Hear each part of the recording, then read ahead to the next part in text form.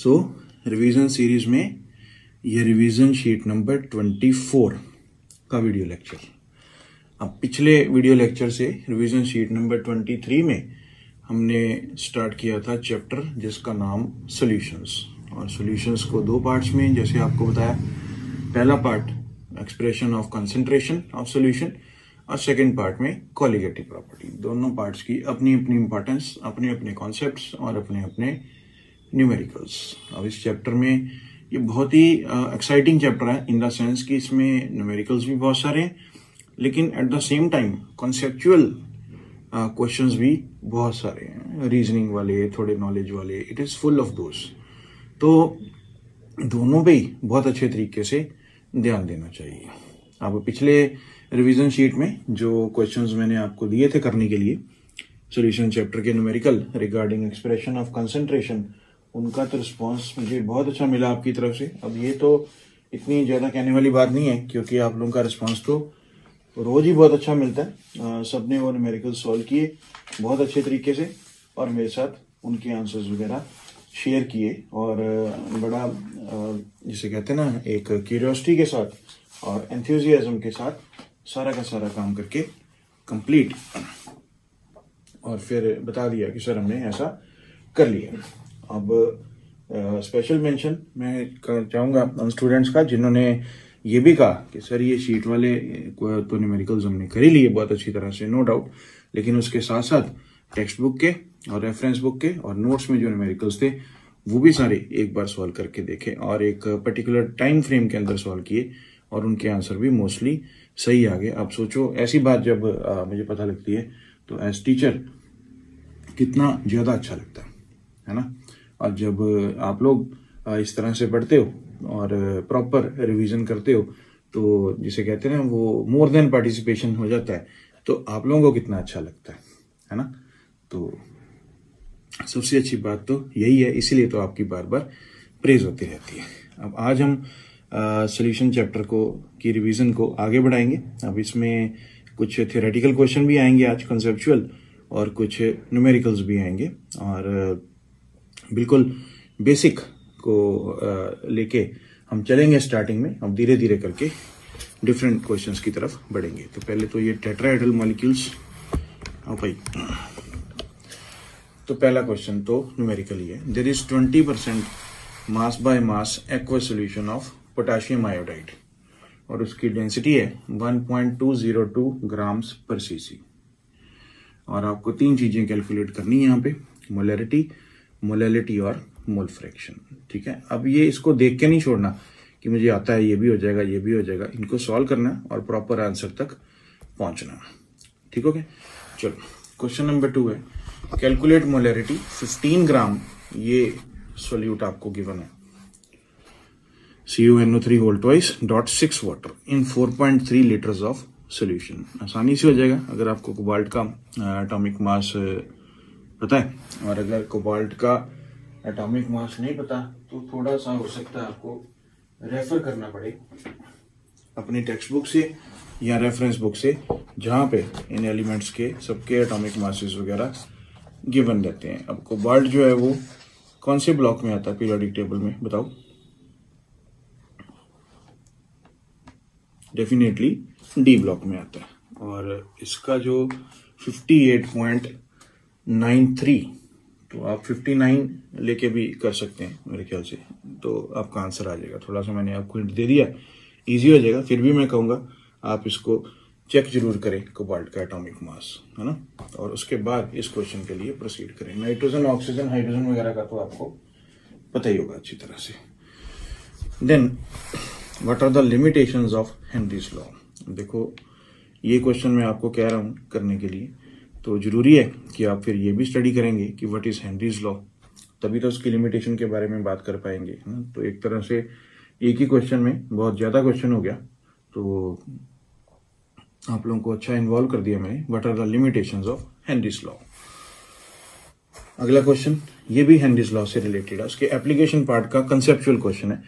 What happens in conditions called bends अब ये scuba divers से रिलेटेड uh, है। क्वेश्चन तो हेनरीज लॉ जहाँ भी टॉपिक का जहाँ भी आप स्टडी करेंगे उसके साथ उसकी एप्लीकेशन में एक स्कूबा डाइवर से रिलेटेड रहता है पैराग्राफ तो वहाँ पे आपको मिलेगा। There is a condition called bends it happens and it can be explain with the help of Henry's law and then further you have to tell how can this be avoided बहुत बढ़िया इसमें से theoretical question भी बन सकता है और MCQ भी बहुत बढ़िया बन सकता है इस, इसमें से। Then question number five question number five भी हेनरी लॉ से रिलेटेड है. At a given pressure what is the relation of K H with solubility of gas in the liquid pressure अगर फिक्स है तो के एच की value और solubility का आपस में क्या थेरेटिकल रिलेशन रहता है? बेसिकली ये बताना है कि के एच ज़्यादा हो तो सॉलिबिलिटी ज़्यादा होती है या कम होती है? अगर दो या दो से ज़्यादा गैसेज को कंपेयर किया जाए एट ए गिवन प्रेशर ठीक हो गया? चलो।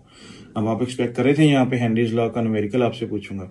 अभी तो नहीं पूछा है है ना? तो ऐसे ही ये अच्छा है कि अभी अब नेक्स्ट क्वेश्चन जो है, वो स्टैंडर्ड क्वेश्चन है, लेकिन इसका परफेक्ट आंसर आना चाहिए। What are colligative properties proper definition क्योंकि कॉलिगेटिव प्रॉपर्टीज़ की डेफिनेशन पे बेस्ड भी मल्टीपल चॉइस क्वेश्चन रहता है। फिर वो थोड़ा सा बारीकी से एक दो वर्ड इधर उधर होने की वजह से ऑप्शन गलत भी मार्क हो सकती है। तो ऐसा नहीं चाहते हैं कि हो, इसलिए properly tell what are colligative properties and then name them उनके नाम बताने कौन कौन सी चार कॉलिगेटिव प्रॉपर्टीज़ हैं।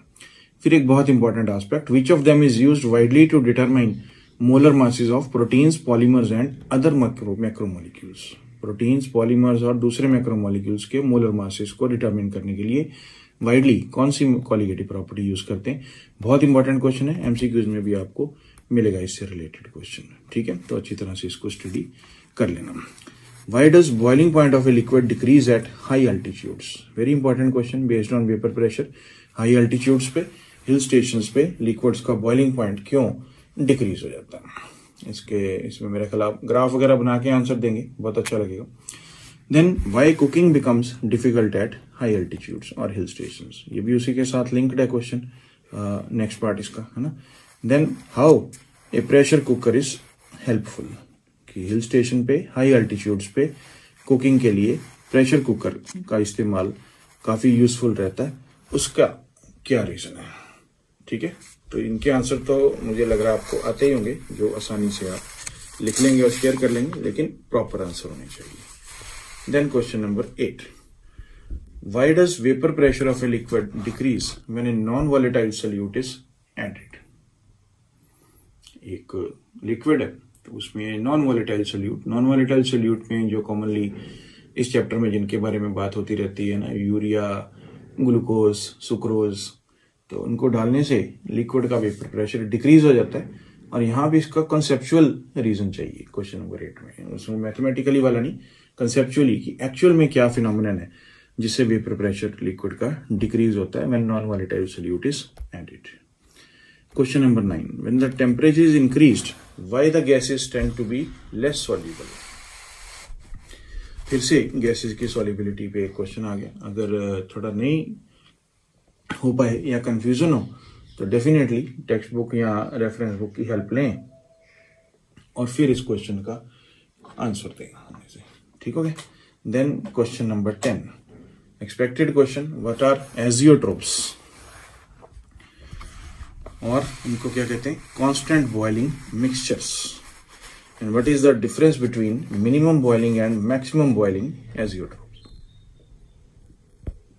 तो मेरे ख्याल से जब आप ये क्वेश्चन प्रिपेयर करेंगे तो इसके साथ ही एग्जाम्पल्स वगैरह भी साथ ही लिख लें। आगे फिर मैं एग्ज़ाम्पल के बारे में भी कोई ना कोई क्वेश्चन पूछूँगा ही आपसे। तो फिर वहाँ पे अच्छी तरह से यूजफुल हो जाएगा। ठीक है? What are azeotropes which are called constant boiling mixtures azeotropic mixtures या what is the difference between minimum boiling and maximum boiling azeotropes then question number eleven what is Raoult's law ये तो फिर ज़रूरी है mandatory question how can it be applied to calculate the molecular mass of unknown solute unknown non volatile solute का molecular mass निकालने के लिए रॉल्ड्स law की एप्लीकेशन कैसे की जा सकती है? इसका तो मैथमेटिकल फॉर्म में आपको आंसर देना पड़ेगा। ठीक हो गया चलो। इलेवन क्वेश्चन तक, हो गए? क्वेश्चन नंबर ट्वेल्व ये तो प्रॉपर एक न्यूमेरिकल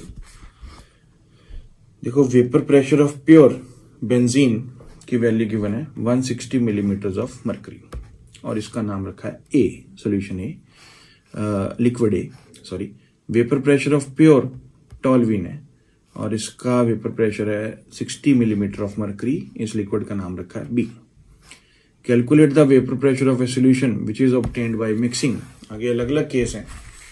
बहुत बेसिक क्वेश्चन है, लेकिन बेसिक क्वेश्चन इंपॉर्टेंट रहते हैं फिर। Equal moles of A and B ये पहला पार्ट है। ये तो अर्ली आप कर लेंगे, मुझे लग रहा है। सेकेंड पार्ट है three moles of A and one mole of B ये भी आप कर लेंगे। थर्ड पार्ट है one mole of A and three moles of B ये भी आप कर लेंगे।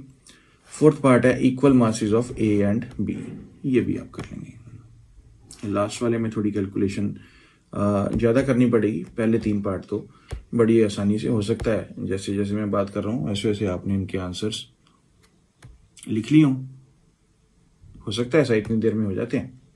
चलो, अगला question question number thirteen